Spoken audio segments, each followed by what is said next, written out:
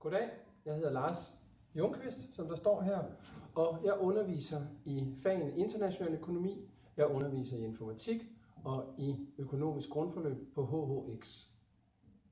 Du kan på min YouTube-kanal finde tips og tricks og vejledning til alle tre fag, til de sværeste emner i de tre, tre fag, og nederst der kan du finde en playliste med øh, tips og tricks til Office, for eksempel hvordan du arbejder i Excel. Så velkommen til!